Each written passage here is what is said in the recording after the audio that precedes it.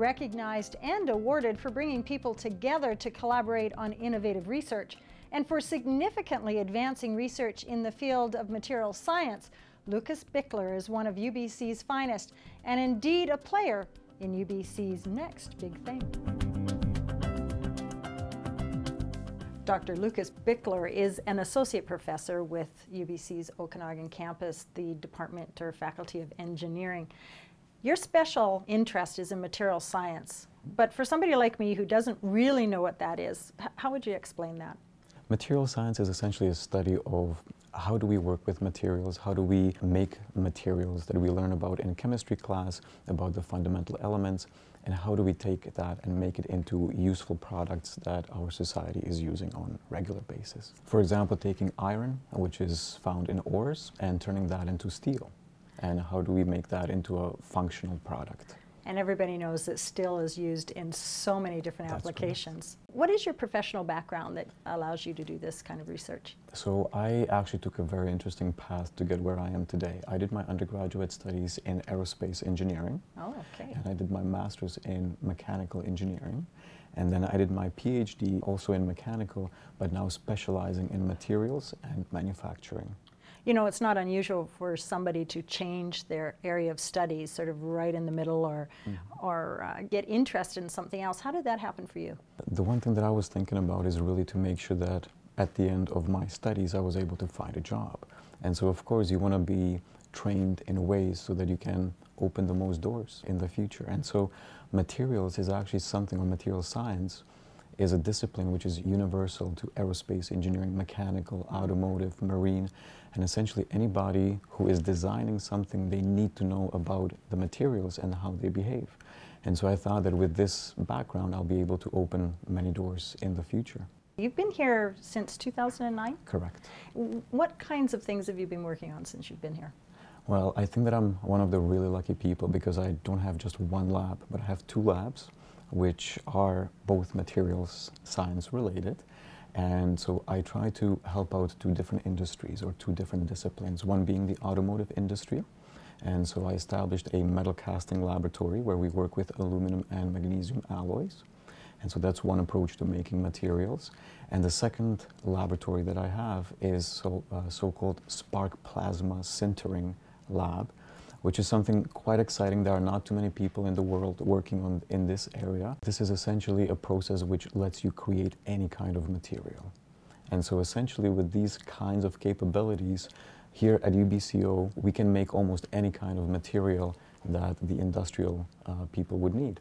When you say that, I just mm -hmm. have mm-hmm. all these things flash in my mind, any kind of materials again, give me some examples what that might be. So essentially, if you imagine, for example, trying to make a material, or if we simplify it, taking water and uh, oil, those two will never mix to give you a homogeneous structure. Mm -hmm. And so there are many materials which behave the same way. It's very difficult to mix them. And so the spark plasma sintering machine that we have here, it works by taking materials and turning them into a powder and then you can mix the powders in any way you wish. And then the machine will turn the powder back into a solid piece of material.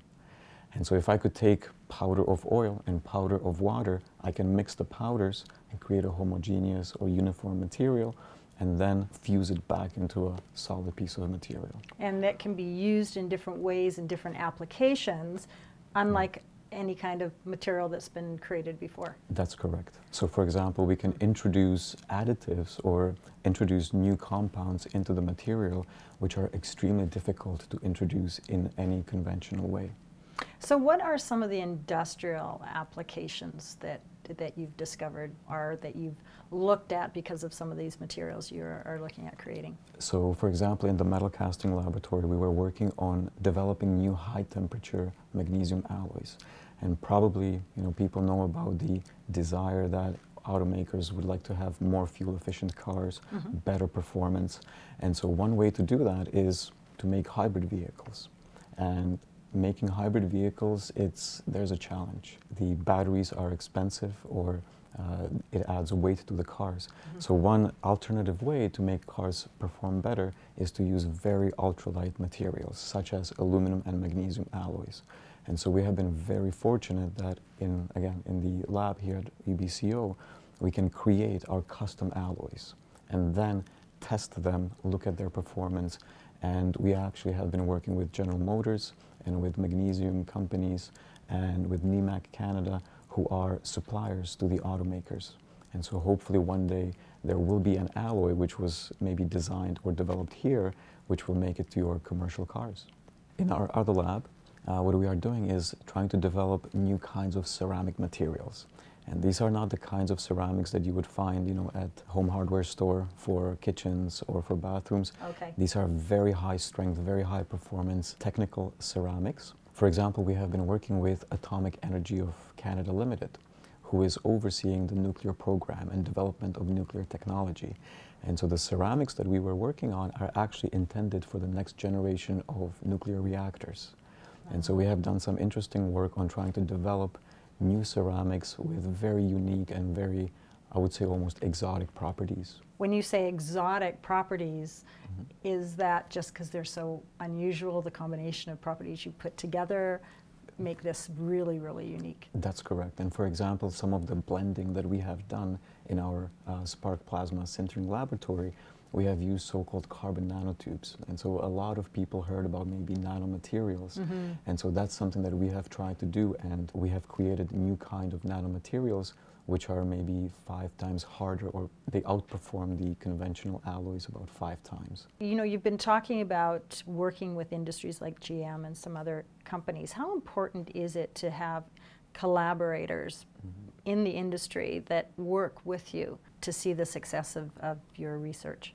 You know, I think that as engineers, this is something we always like to do. We like to solve the real world issues. And so I think that I've been very lucky that we had industrial partners working with us. Mm-hmm. And they are the ones who are able to take it and carry it further into, you know, commercialization and to, into uh, production. You know, when it comes to, let's say, securing funding, that is also very important to make sure that we are not only doing theoretical or hypothetical research, but it is really using the results to a good use you said it about funding. How important is getting funding to do what you do and having the right people connect with you with that funding? Mm-hmm.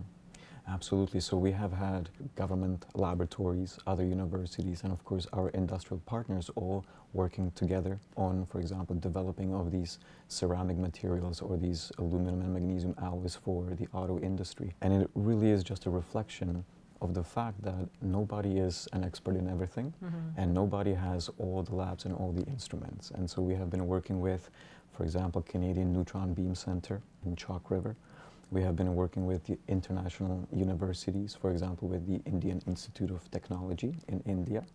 And for example, by these collaborations, we have students traveling between UBC and these Canadian uh, government labs, or even students coming, let's say, from India to UBC to do some experiments here and then they do more work when they come back to India.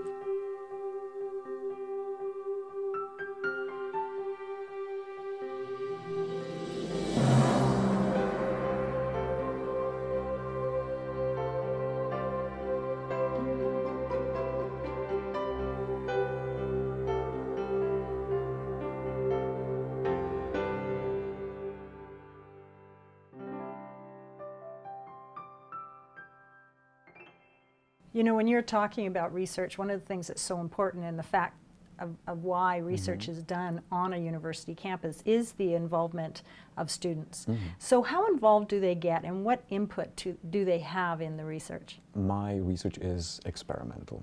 And so, we actually really have to begin with making our raw materials and the students that's where they come into the lab so they are involved with making of the raw materials creating them using the casting equipment that we have or the spark plasma sintering machines to actually create bulk materials.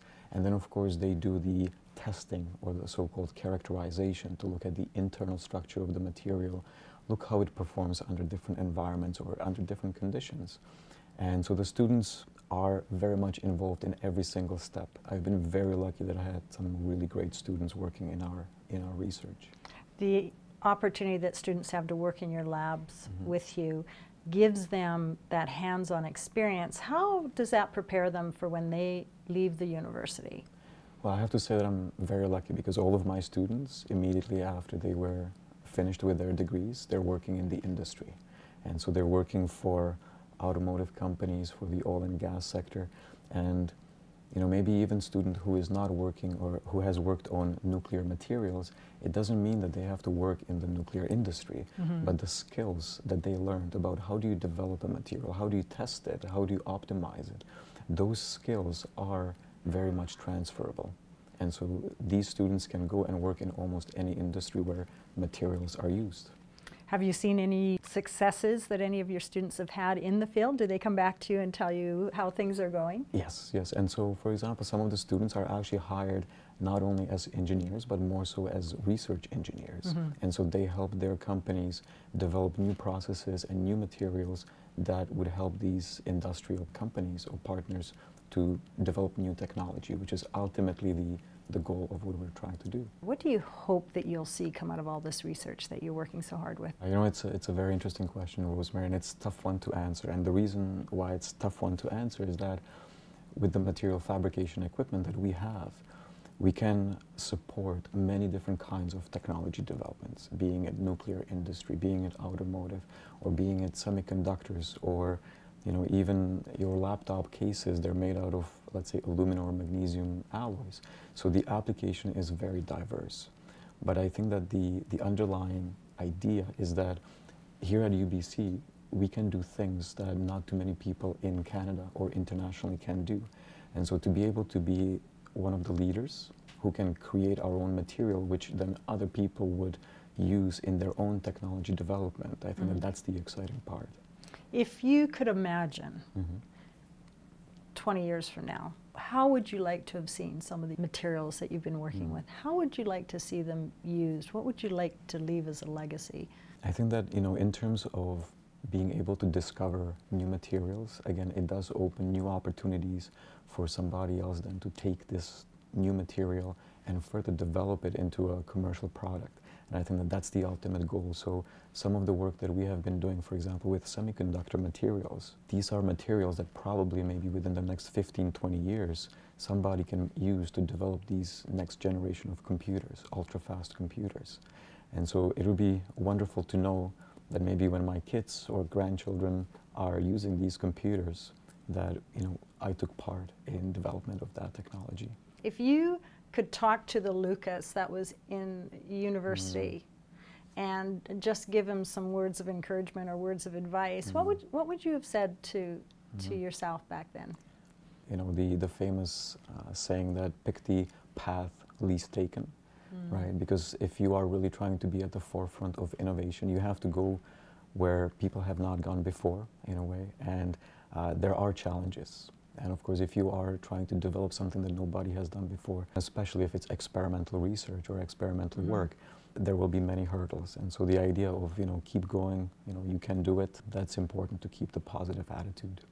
Lukas, thank you so much for coming in and talking to us today. And I really do look forward to seeing what new materials we'll see come out of your labs in the future. Thank you, Rosemary. It was a pleasure. And that wraps it up. Thanks for watching.